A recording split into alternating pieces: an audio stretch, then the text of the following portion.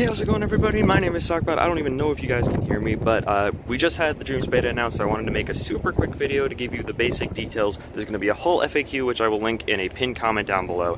But for the basis of it. Um, it starts tomorrow. To sign up for it, all you need to do is be subscribed to the Media Molecule newsletter, which that's the reason I'm making this video, because you've got to go subscribe now, and don't forget to confirm your email, because if you don't, uh, they won't send you the newsletter, and you won't get your beta key. Again, sorry for the ridiculous amount of wind that's probably happening. I'm like in a corner here, but I want to put this up right now. So um, it's going to be on PSN, obviously. Um, it's completely creator focused, so it's going to try to focus on letting people use the tools as opposed to letting people play the game in Obviously, there is like a challenge they're adding that they want people to remix that is totally playable um, by you and all of your friends if you want to play through it. Um, there's no PlayStation Plus needed for the beta, and the beta is going to last until January 21st. Now, if you don't get in through the newsletter for some reason, I'm sure there's going to be a cap originally. There's going to be an additional sign up that will be um, letting people in on January 8th, so keep that on your calendar if some reason you don't get a beta key today or tomorrow.